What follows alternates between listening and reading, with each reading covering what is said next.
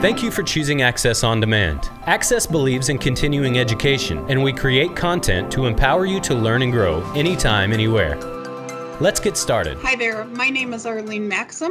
I'm a registered nurse and senior vice president of clinical services at Axxess. Today we are going to do an OASIS E training. We're going to talk about the anatomy of OASIS E. This is not intended to be an entire training of OASIS E because you can't get that 45 minutes. But uh, we are going to go over some conventions and we're going to go over some areas of OASIS itself that many of you may not have been thinking about in the past. And with OASIS E going in with that to value-based purchasing um, on the very same day, January 1st, uh, we have to be aware of some things that perhaps in the past we kind of glossed over and didn't pay a lot of attention to. So the training objectives for today was will be that we're going to introduce you to OASIS and OASIS E in general. Um, we're going to go over the background of OASIS, uh, let you know where we've been, and perhaps maybe where we're going. Uh, we're going to have a little bit of a technology update as far as OASIS Crosswalk is concerned. We have some um, free information for you that will be available on our website and um, talk a little bit about the Impact Act and where OASIS actually got started and the reason for OASIS E behind the Impact Act. And then uh, talk a little bit about the OASIS training manual that they gave us um, from CMS. It's pretty incredible. It's uh, probably the most comprehensive training manual they've ever given to us um, as an industry. So it's um, a pretty exciting. Um, as I was going through it, I thought, gosh, how organized this is and how much easier it's going to be to train uh, clinicians on OASIS E in general. So um, let's get started and talk about home health all by itself. Um, many times we as clinicians um, are the only people some of these bedridden patients ever see in the home. So it involves unique challenges to us, for us. Um, and uh, but working in home health care gives us the, the, opportunity to improve the quality of care of the patient, and that's exactly what we're getting at. So with OASIS E, we're going to have a requirement to show improved outcomes and um, that's part of the impetus behind OASIS E, and certainly with value based purchasing. And as we show those improved outcomes on the patient, um, we're going to get increased satisfaction, increased joy in our jobs, and the patient certainly is going to be much more satisfied. So prior to the year 2000, some of you probably may remember this, uh, we had no OASIS. We had we were able to do assessments on just about anything we wanted to do it on. Um, and so, and we all kind of made up our own. There were some publication companies that put some documents out, but typically we um, organize our own assessment tools. Um, but by the year 2000, we went through the Balanced Budget Act, we went through the interim payment system. And during that period of time, CMS contracted with um, the University of Colorado. Peter Shaughnessy and Kathy Crisler uh, were the two people that were instrumental in putting the OASIS together. The federal government felt that they weren't able to track progress and outcomes for patients. And so um, the quality initiative there was to get some uh, funding from the Robert Woods Foundation.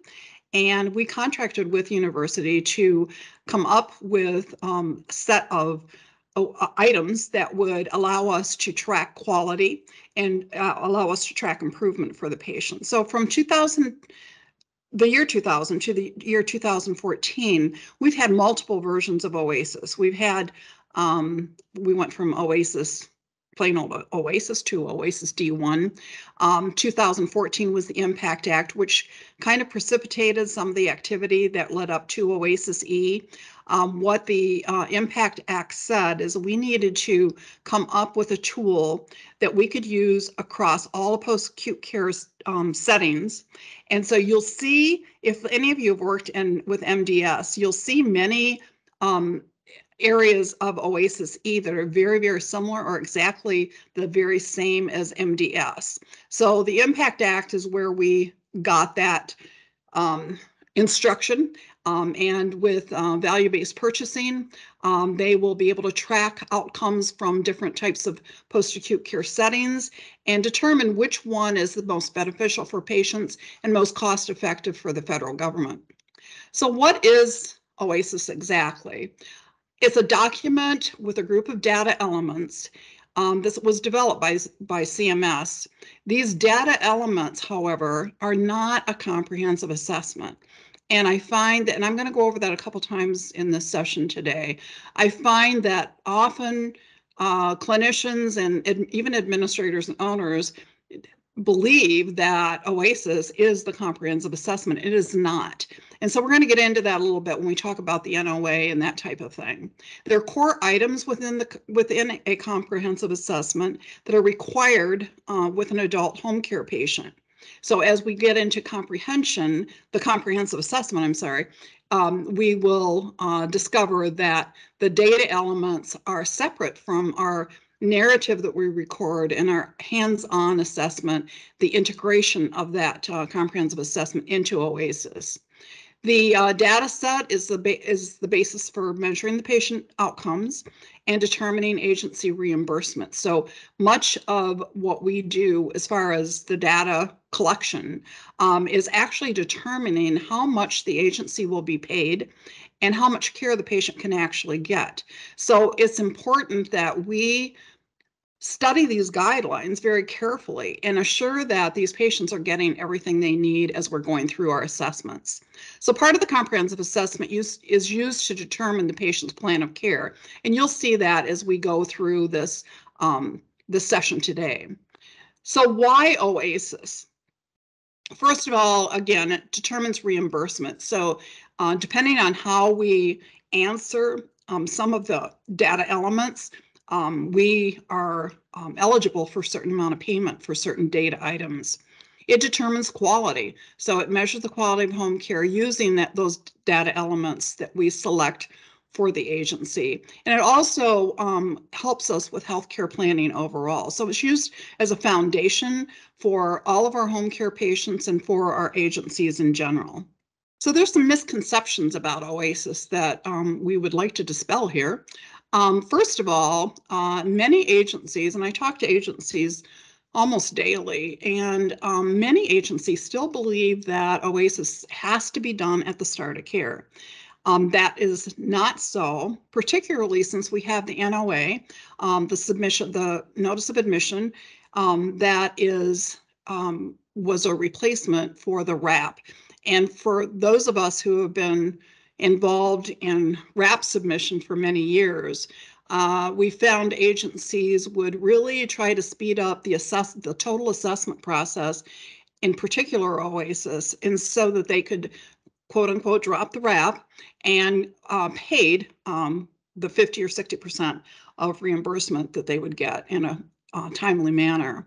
Um, with the NOA, that's not required. The only thing that's required with the NOA is that we have a billable visit, that we have done an eligibility assessment on the patient, and that um, the patient, um, again, has a billable visit. And those billable visits can be found in uh, Chapter 7 of the OASIS Policy Manual, and I would encourage you to get those out and read them um, because there's many, many things. There's 15 items in particular that uh, clinicians can perform, uh, at least nursing can perform, um, that would be considered a billable visit. And then you can um, submit your NOA we have that five days. We uh, CMS has given us five days to complete an OASIS assessment, and that's very, very good for us, in particular going into value-based purchasing, because now we have an opportunity to have that time to get all of those disciplines into the home and assess the patient and determine what's the best plan of action for that patient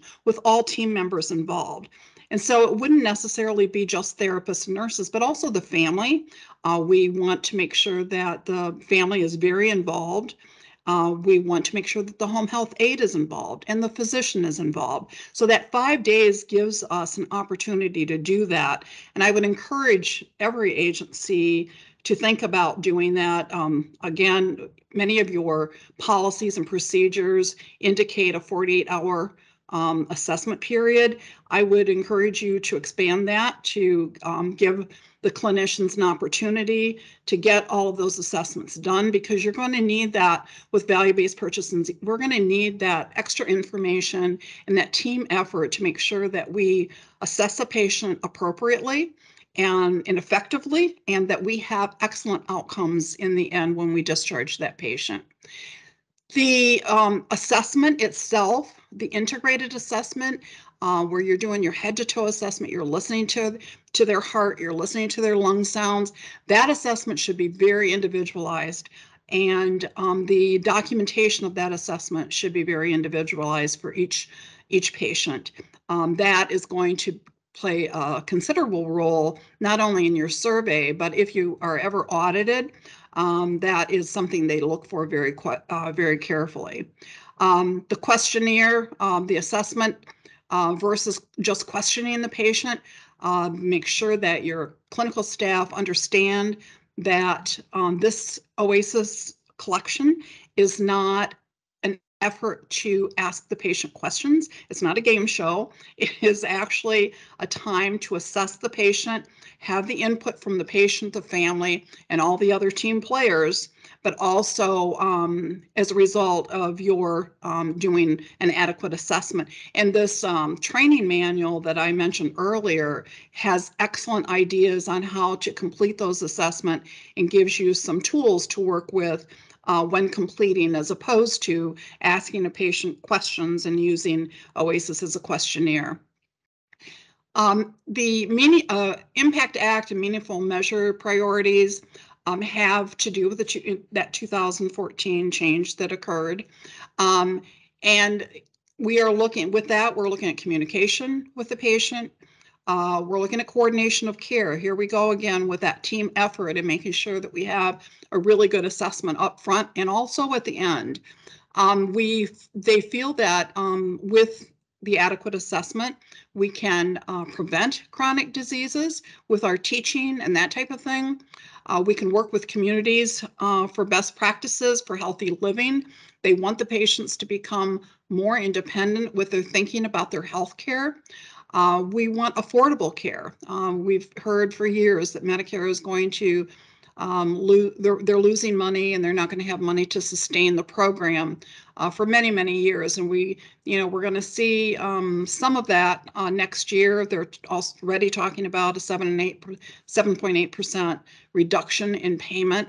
Hopefully that won't happen but um, they are seriously considering that. And then when value-based purchasing hits in 2015, we're really going to see the impact of um, how affordable the care that we're providing um, has been. We want safe care, so we want to make sure that our um, priorities as far as assessment and as far as care planning uh, provides for safe care with a reduction in harm, uh, making uh, the care safer by reducing the cost of care. And we can do that. And I'm going to talk to you a little bit about the use of technology and how we can uh, make care actually safer from uh, using technology. Um, strengthen pa- partners in care with the patient and a family. We want to make sure that everybody is involved, and this is definitely a team effort. And then we will, um, part of this will be used to, in the treatment, the actual treatment of uh, chronic disease. And so this is some information here at the bottom about the amount of money that um, CMS is telling us they uh, spent in 2015 um, up to $88.8 billion. Now we know 2020 was a really uh, bad year for all healthcare organizations, and there wasn't quite that much. I, am not sure exactly how much money was spent, but wasn't uh, quite the increase that they expected. Uh, but I believe the numbers are probably back to where they expected now. But the um, uh, increase in cost is one of the things that's precipitated some of the um, um, changes that we're seeing right now. Criteria used to develop OASIS E is um, the um, idea was to calculate a measure for the quality of, of the quality of care. So they used HHQRP to do that. Um, they use survey findings and um, they, the survey process um, is designed around looking at OASIS and determining whether or not we are using critical thinking skills um, in making that, doing that OASIS assessment and making it something that's usable for our care planning.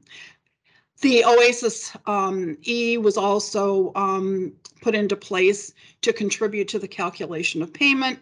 And then um, it's a part of the calculation in home health compare. So your um, patients, family, patients and families, um, insurance companies, um, uh, Medicare itself are looking at home health compare. And so they're getting those numbers. You probably all know this. They're getting those numbers directly off of your OASIS data that you're submitting um, every so often to your states. And so you want to make sure that of the accuracy that, and I've gone into a number of agencies and I've looked at OASIS assessments and found that oftentimes every single box is checked the very same way on almost all patients.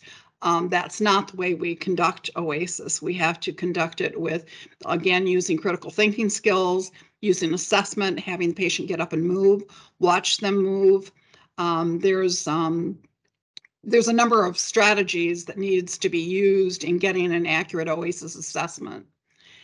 So for OASIS E, we have some new things. We have determinants of health. So clinicians will cl collect and they're going to identify actionable items, which should be ultimately lead to better out care outcomes. Now, with determinants of health, I would encourage you to all start looking at some type of telehealth program and having uh, care available to that patient 24 hours a day. And it may not be hands on care, but they would have someone to connect to, especially patients who um, are not getting out much at all and perhaps don't have family members or caregivers available to them. Um, this uh, determinants of health is going to collect uh, the information about transportation, about loneliness. There's going to be a number of things that we're going to um, be able to extrapolate from those determinants of health. There's a facilitation of transfer to other healthcare settings. So there's um, a lot of information in the new conditions, the new conditions, they're 2018, so they're a few years old now, but with the most recent conditions of participation about timeframes for transferring health information to um, the um, institutional settings and to other settings like hospice and that type of thing. So you want to make sure that you have accurate information and that information is getting to um, the transferring entity in a timely fashion. Um, medications is one of the reasons for getting that information expedited. Many times when patients go into the emergency room or admitted to the hospital, even going to the doctor's office by themselves, they can't remember what medications they're on. So uh, our um, getting a reconciled uh, list of medications and determining whether the patient is on the right medications. Um, that would be determined certainly by their primary physician. But getting that information is going to be really important. And if you think about it, home care is the only place you can get that because um, many of these patients hoard med medications. They pay a lot of money for them and they store them in drawers and cupboards and um, they'll bring them out only when the surveyor shows up. They don't necessarily show you when you're going out to do the start of care assessment, but it's interesting. So we have to do our very best um, to have them gather all those medications that they have have hidden um, in different places in their home and uh, show them to us when we go out to do our start of care assessment so that if the patient is discharged, we have a complete list and we can um, send that on to the um, transferring entity. So soon the transfer of health information will be added to the HQRP program. Uh, research shows that poor patient outcomes are directly related to medication issues. That's the number one reason patients go into the, back into the hospital is um, number uh, medication issues and not taking their medication, not being able to afford their medication. Oftentimes, um, the medication that they're taking uh, causes falls. Um, and so we have to um, make sure that they are taking the right medications so we can uh, we can avoid all of that. So let's talk about the instruction manual. Um, there is a new instruction manual, and I I think that folks who have been in uh, home care for a long time are going to be really excited about this manual. It's so organized. It gives us a lot of detail on what they expect us to be doing with the OASIS assessment itself. Um, there's item by item instruction. I know we had that in previous OASIS manual training manuals before, but this one gives us a lot more information um, so that we can train our staff um, to complete the assessment appropriately, efficiently, and effectively. The rationale and guidance necessary to accurately complete each um, item of the OASIS is included in there. There's some revisions uh, from the original um, that gives us um, more information about educational issues that we need to cover. Um, this is going to be aligned with many of the post-acute care settings. As I mentioned, the MDS um, is very similar to OASIS E. And so some of the instruction we get out of this new manual um, is very similar to what the MDS clinicians would be getting um, as far as completing their um, documentation. Uh, so there's new sections. Uh, some of them are added or renamed. Um, some the items have been reorganized uh, within the section. Uh, some of the things you're going to have issues with, I believe, will be um, some of the cognitive and mood issue items. I I have a hunch that it's going to take nurses and therapists a little bit longer to complete uh, that section of OASIS uh, when they get to it. Uh, the sections again have been alphabetized um, and it begins with a brief introduction describing items found in the section. Um, the sources of information used to respond to items are now located in the first uh, bullet under response to specific instructions. Um, the OASIS D section that had the data resources and resources uh, has been taken out of OASIS E. There is dash language, so if you can't answer a question for whatever reason, um, they do have an opportunity in many of the items to use a dash indicating that you don't have enough information. I would be very, very careful uh, with the overuse of that um, and try to assure that you're getting as much information as possible. I always recommend you have a family member um, included in gathering OASIS assessment information. Um, as I mentioned earlier, some of these patients don't necessarily remember um, many things. And if they have a cognitive decline, um, they certainly aren't going to remember. So um, that and that's the time typically when a patient can't remember, or they don't want to answer, that we use things like dashes to complete our assessment. Um, but CMS is, is um, warned us against using it. And um, I would highly recommend that you don't use it unless you absolutely have to. And I would also recommend that you have narrative indicating um, the reason uh, for using that dash item. Uh, the language has been added um, indicating that um, it's uh, you're not able to gather it, but it's not really a, an, ex, um, an acceptable response. So general formatting organization changes have been made to improve in clarity and to re uh, remove redundancy, and it certainly has. Uh, this is uh, this is probably the best uh, manual that they have actually um, put out since OASIS started. Sections of the e-manual um, have uh, been presented in a standard format with ease of review by your staff. And so when you're doing your training, I think you're going to find it a lot easier to train your staff just because of the way it's laid out. They have different colors um, in the document. And um, I, I want to let you know that Axxess is actually um, taken the same manual and recreated. So we're going to have that available for you. It's a much shorter version, um, not shorter in words, but it's a shorter, um, the, the uh, information is more consolidated than it is on the um, manual that you can download. And you can download that um, free of charge as well. Uh, the Axxess manual will also be free, but um, it'll be a little easier, I believe, for the um, clinicians to carry in their bags or uh, to use for training purposes. So there are coding tips in there and just so that we are all on the same page, the coding they talk about in OASIS is not coding, ICD-10 coding. It's coding of the OASIS itself. So where um, the uh, documentation and what uh, number you're going to check or what letter you're going to um, give to that item is what they're talking about as far as coding instructions. So coding instructions and tips are included in the formatting in this new manual. Okay, so this is the actual sections that you'll see in the training manual.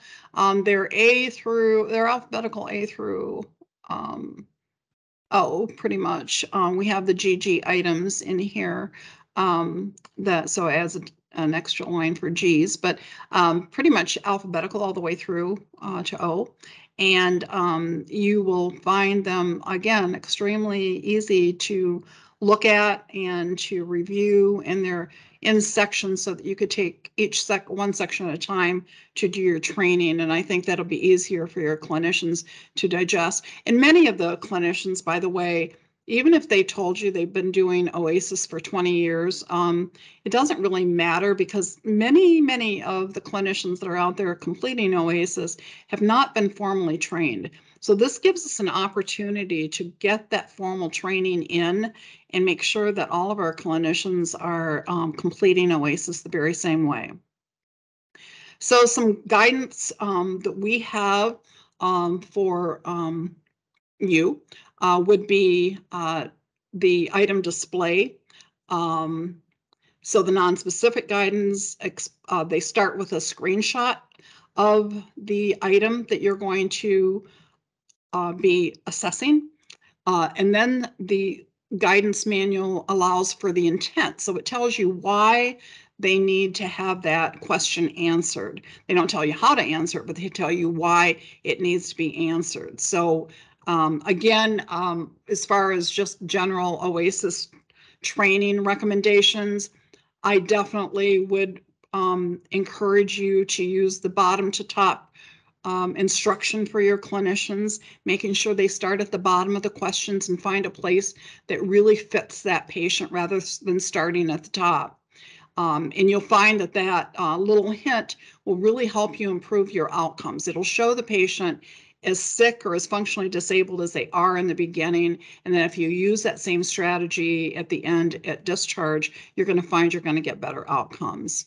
So the guidance manual also gives us the time points that will tell us whether we're going to be doing this at the start of care discharge and at the other time points that are um, available to us.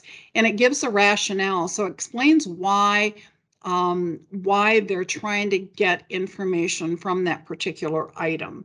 And um, this is, I think this is um, a little more explanatory than we've had in the past.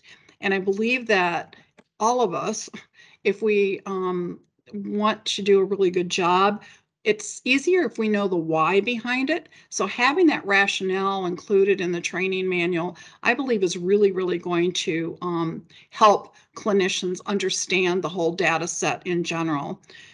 So then it talks about the response, so the instructions on how to respond. And this is, again, a time that I want to remind you to start from the bottom of your scoring and work your way up. And then it gives us some coding instructions and tips. And again, this is an ICD-10 coding.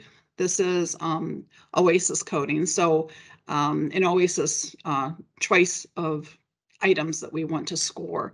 So that is the in a nutshell what you will find for every single OASIS item we have. All of these all of these points are going to be identified on a page all by itself. And as I said, Axxess is coming out with a if, uh, tool um, that clinicians will probably be able to carry in their bag and have accessible to them at all times. It's just a little more consolidated than the one um, that's available online. So quality measures, there's some things that um, have uh, changed a little bit about the quality measures. So there's some more information about skin integrity and changes in skin integrity. Uh, medication reconciliation has really been expanded. Um, and so we're looking at high risk medications and that type of thing. But the medication reconciliation, don't try to do this by yourself. Make sure that you're talking to the, the doctor's office, make sure you're talking to the pharmacy and getting as much information as you can so that you can reconcile these medications. Um, there's an area for incidents of major falls. Um, we've had um, in the past, we've had uh, collection of information about falls in general, but now they're looking at um, falls that um, actually cause patients problems. And then uh, again, as I mentioned before, the medications is the number one reason patients go back in the hospital. Many times falls occur, and that's the cause, but it's because of the medications not being taken properly. Transfer of health information, again, is um, going to be a target area, and I'm sure you're going to see that for um, survey as well. They'll be looking more closely at uh, the transfer of information than they have in the past. And then your functional status, cognitive function, um, those areas in the manual, that's in section C, um, are going to take you time to train your staff um, and they're also going to take time for staff to complete. In particular, in the beginning of OASIS E, I think it's going to probably take add another 20 minutes to maybe 30 minutes to get it done appropriately. So some of the differences we have um, is a result of SPADES, the standardized um, patient assessment data elements. Um, we're going to have a BIMS assessment. It's an interview um, that we will use for um, determining the mental status of the patients. And then again, we're going to have those so social determinants of health and health that uh, I would encourage you to take a look at using telehealth in your operations so that you can um, get measurable determinants of health. I think that it's going to help you um, and it's actually going to help the patient as well. And they'll um, be able to you know, report issues regarding having medications available for the weekends. They'll be able to report whether or not they need dressings or they need dressing changes, whether they're going to need a PRN visit on on the weekend or something like that. So those social determinants of health are going to be um, becoming um, more prominent as far as what CMS is looking at and also surveyors. So um, the care is directed at the patient, family, and community and it's more than just physical care. It's like caring for the whole patient. And um, with quadruple aim in um, the guidelines, uh, one of the areas that they talk about in quadruple aim is the inclusion of the everybody on the team as far as caring for the patient and teaching the patient. And CMS feels that if a patient takes more responsibility in their care, they'll stay healthier. Uh, so uh, it's up to us to make sure that we do the teaching that we need to do, gather the data in the, be the beginning to make sure that we know what to teach, and then make sure that teaching gets done so we have positive outcomes. So some of the tips that we have is um, trying to make sure that you have goals always to improve the patient status and be careful about overdoing your goals. Make sure that your goals are specific and individualized to the patients. This is going to keep your patient out of the emergency room and out of the hospital. Um, make sure you establish reachable goals for your patients. Don't discharge too soon. I've been seeing uh, patients being discharged within 30 days. Um, AARP recently did a study um, on this, and they're actually complaining to CMS about um, how few uh, visits were, are being done now since PDGM, and the patients are being discharged earlier than they had been before. So make sure that you're discharging at a time where the patient's ready to be discharged and you can sh show positive outcomes. Now, some of the patients may not go past 30 days, but um, according to some of the studies that have been done, there's a high percentage of patients that are being discharged prior to that 30 day billing period or at the 30 day billing period. Accurate OASIS is a must. Um, you want to make sure that you're accurate, so your acuity um, in uh, addressing each OASIS item is going to be important. Uh, make sure your documentation is consistent. You're telling a story all from the beginning to the end, and everybody is working toward that same goal. Um, service coordination is a must. Coordination of services is one of those things that I just don't think home care has ever really gotten right. And I think we need every tool in our toolbox to be able to say to um, CMS that yes, we finally get it and we are going to be able to coordinate care and the coordination is done accurately, efficiently, and effectively uh, for better outcomes for the patient. And then overall, we're going to improve the quality of care for the patient. And that's uh, what's important for us now. So on our web, on the Axxess website, you'll see an OASIS E crosswalk that'll give you information about the differences between OASIS D1 and D and OASIS E. So you can download that. Again, it's a it's a tool that's free of charge for you, and I certainly would um, encourage each clinician to have a copy of this. Um, and then this is the OASIS a sample of the OASIS E uh, tips. Um, this what we I've just gone over with you, but it's that uh, tool, the manual, the guidance manual that CMS has um, put together um, just reformatted in a different, a little bit different style. All the information is exactly the same, but it's just consolidated and easier for uh, for use for not only you but uh, also your staff.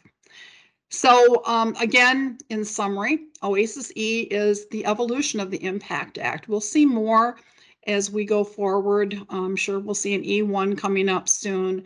Uh, this is going to be important that you get your training done probably starting next month because in September uh, because the it's going to take a while uh, for you to train everyone. As I mentioned, many of the clinicians that are out there seeing patients now have never had a formal OASIS training. So this is an opportunity for you to use the change to OASIS E uh, for a formal training. So then be aware that OASIS totally impacts your revenue, it impacts your star ratings, and then that's certainly an evidence of your quality of care. Insurance companies are looking at these star ratings, so oftentimes insurance companies will discontinue contracts with staff with uh, agencies if their ratings drop below four. Uh, and I've seen that happen often. So you want to make sure your star ratings show up, uh, stay stay elevated. We want to get as close to five as we possibly can, and uh, we want to be consistent with that. Uh, value-based purchasing is going to kind of force that. And unfortunately, we're not going to know the results of value-based purchasing for each individual agency until 2025. But um, right now, we need to focus on making sure that we get OASIS E and get the data collected uh, properly. Um, again, there's multiple additions and deletions um, in the OASIS E document, but training for your staff, I can't stress that um, enough. I think that um, you all need to make sure that uh, training is done um, in a manner that is effective for your staff, but make sure it's done before the first of the year. We're going to have a lot to um, be working on come January 1, and that's when Oasis actually, Oasis E, I'm sorry, actually begins. So value-based purchasing data and um, the Oasis E will begin on January 1st. So um, thank you so much for listening to the presentation today, and you can certainly um, check with anyone at Axxess if you have questions about this. We'll have ongoing training for each of the OASIS items uh, in the future, and you'll be able to watch those free of charge on the Axxess website. Thank you so much. Have a good day. Thank you for joining our on-demand training today. Axxess is the only home healthcare technology company approved by the American Nurses Credentialing Center to offer continuing education credits and the most recommended home health software on software advice. You can watch more on-demand training videos through our industry-leading help center or at axxess.com where you'll find tutorials, blogs, white papers, and answers to frequently asked questions. Axxess, empowering care anytime, anywhere.